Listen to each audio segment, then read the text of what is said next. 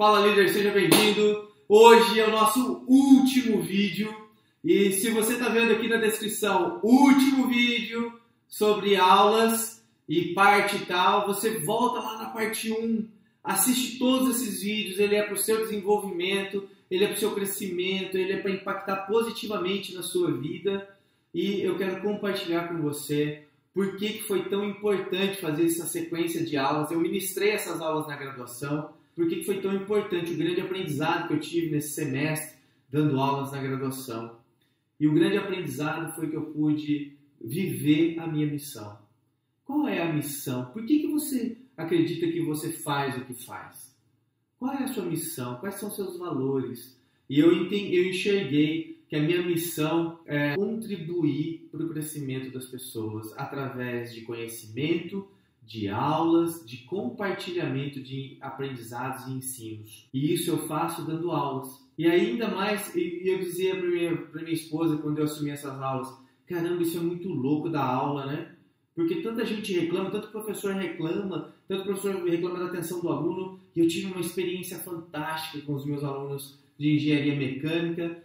Eles se formaram em 15 alunos, os 15 acompanharam esse semestre de aula eles estavam presentes, eles buscavam se desenvolver, eles buscaram novos conhecimentos, novas maneiras de fazer as coisas, e isso para mim não teve preço. Ser professor é uma bênção na minha vida. Poder compartilhar, ensinar é um milagre na minha vida. Foi algo transformador, foi algo que eu pude é, selar realmente na minha alma que a minha missão é ser um professor de multiplicar, de ensinar. Por isso eu compartilhei todo esse conteúdo durante esses últimos dias e compartilhar com você, poder ensinar a você tudo que eu aprendi é uma bênção para mim, é um milagre na minha vida.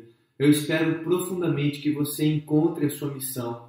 Se você quiser saber como definir a sua missão para que fique mais claro e você possa então é, formatar seus comportamentos para atender a sua missão, você pode deixar aqui nos comentários do vídeo, Júnior, posta conteúdo de como identificar minha missão e eu vou produzir um conteúdo para isso.